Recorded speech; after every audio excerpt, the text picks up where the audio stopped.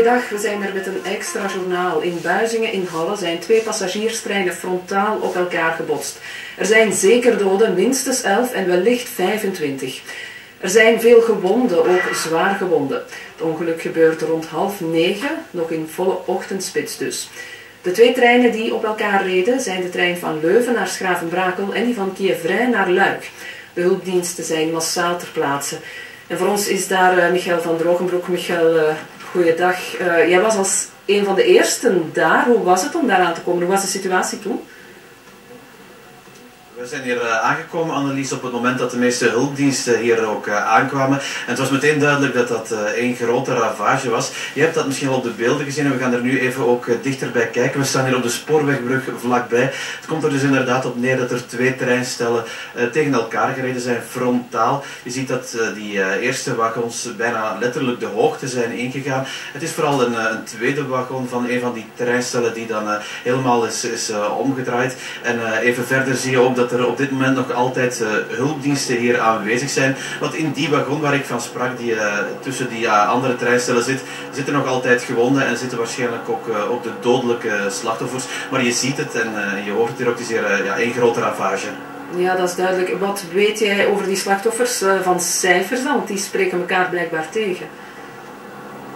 Ja, op dat vlak is het uh, een beetje chaos, maar uh, we hebben gehoord uit uh, de top van de NMBS dat er sprake zou zijn op dit moment voorwaardelijk dus van 25 doden. Er zouden 10 doden zijn in de ene trein en 15 in, in de andere.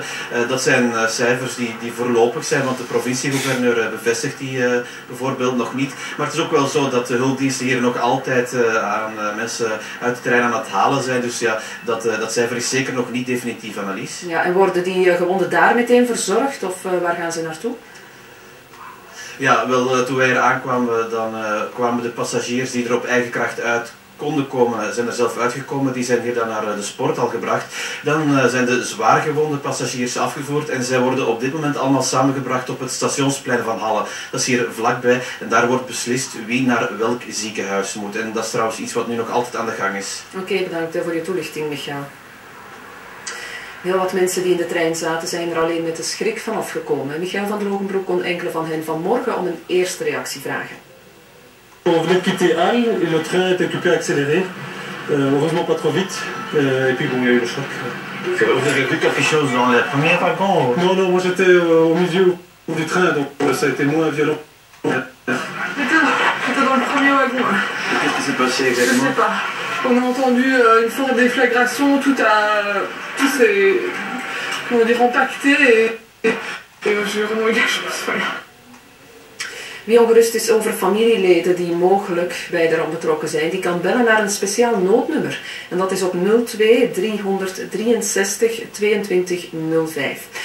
Er is in Halle ook een crisis- en opvangcentrum opgericht en voor ons staat daar uh, Steven Rombout. Steven, goeiedag. Uh, wie zijn daar allemaal in dat crisiscentrum? Wel, ik sta aan de sporthal in Buizingen, waar dus uh, dat nu dienst doet als crisiscentrum. We hebben hier heel wat uh, lichtgewonden zien binnenkomen. Uh, heel wat mensen hebben toch kwetsuren aan hun hoofd, maar ook heel wat zwaar gewonden zijn hier binnengebracht met een brancard. in afwachting van ze dus naar een ziekenhuis worden gebracht. Nu, niet alleen gewonden worden hier opgevangen, alle passagiers van de verschillende treinen komen hier terecht en we hebben met één van hen kunnen spreken. Ik zat op de trein, de trein van plotseling hard te tutelen en hard te remmen. Er was even een schok.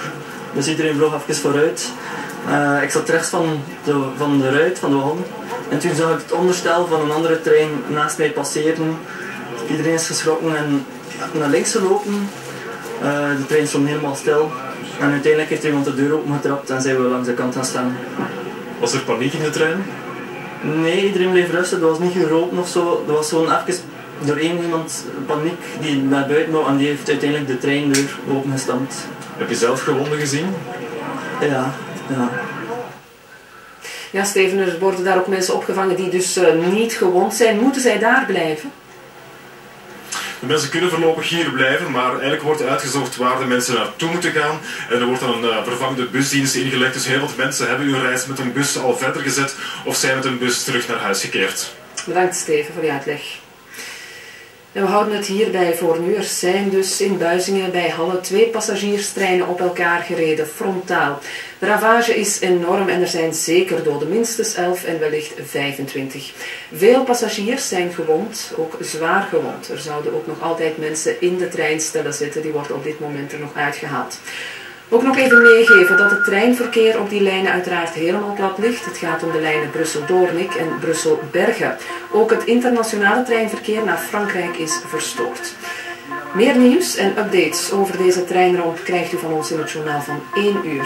Verschillende ploegen en journalisten ter plaatse. Graag tot dan.